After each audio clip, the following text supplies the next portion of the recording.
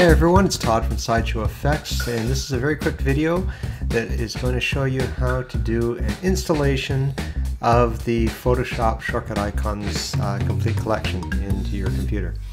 So uh, what you see on the screen here, I'm on the Mac right now and uh, these this process is exactly the same as it is for Windows but I'll be cutting away to show you um, on the Windows system uh, the part that's a little bit different. So uh, when you unpack it, you'll get a zip file, and when you unpack it, this is what you're going to see. So we have uh, icons, and this is where all of the icons are located. The next item down is our keyboard shortcuts, and this is one of the most important parts of it.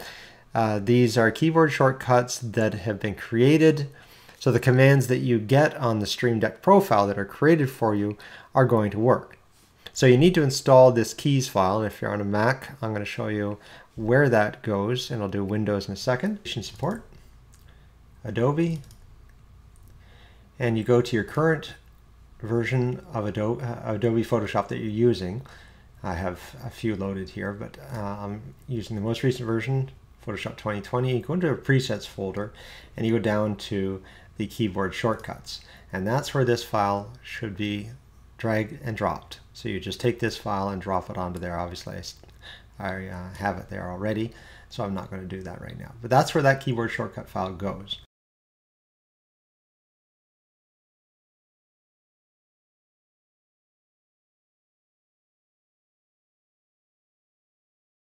Over on Windows 10, uh, I'll show you where the path is here, and but sometimes you might not have uh, the folder available uh, or, or, it might be hidden, so you have to uh, unhide it.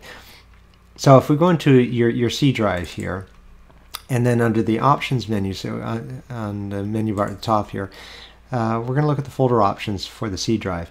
And go over to the View tab, and you want to make sure that uh, Show Hidden Files, Folders, and Drives is selected because you need to be able to see this folder, otherwise uh, you just won't see it. So we say OK, because the folder we're looking for here, when we go to Users, now we're still in the C drive, we go to Users, and go to your username, the one we're looking for is app data. This would normally be hidden unless you uh, select show hidden files. So we go to app data, into roaming, into Adobe, and your particular uh, Adobe Photoshop uh, version. This one is 2020. And you go into the presets and the keyboard shortcuts folder is right here and that is where you're going to drop the uh, keyboard shortcut file from your download. And you want to change the set to the PS SideshowFX keyboard set.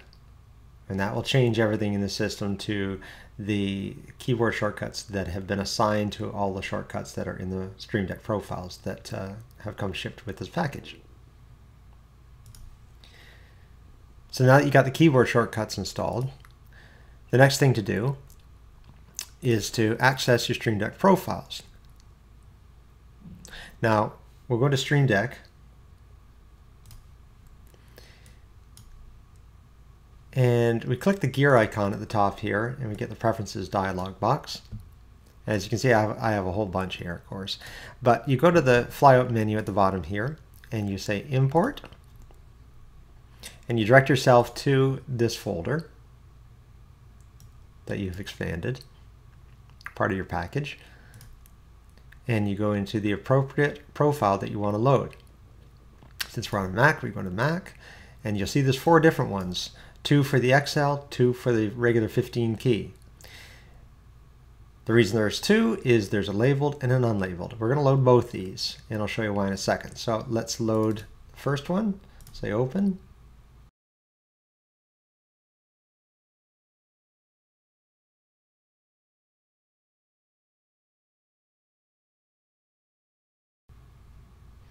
It'll load that for me and it's labeled a copy because I already have this loaded here. So we'll go to the flyout menu again, go import, and we're going to load the unlabeled version.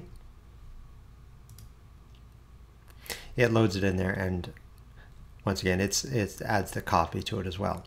So we're going to go to the Photoshop XL labeled copy, close the preferences, and on the flyout menu on Stream Deck here,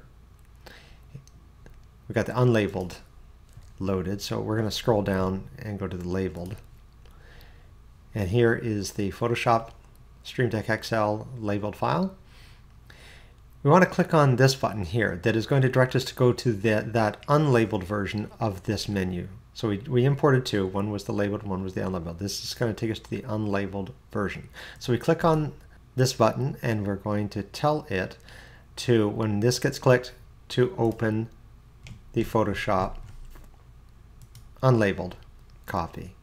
We'll switch over to the labeled, uh, to the unlabeled copy profile. This button says go to labeled. We're going to make it go to the labeled copy. So now in the Stream Deck, when we hit go to labeled and go to unlabeled, you see it will uh, jump between the two different profiles. So right now we're on unlabeled. You, let's see, we're going to edit. You can see all of the keys are unlabeled. Click to go to labeled, go to edit. Now all the keys are labeled. And that's it. With the Stream Deck, it's all set and ready to go for you in Photoshop. Once again, thanks very much for downloading the package. Hope you have fun.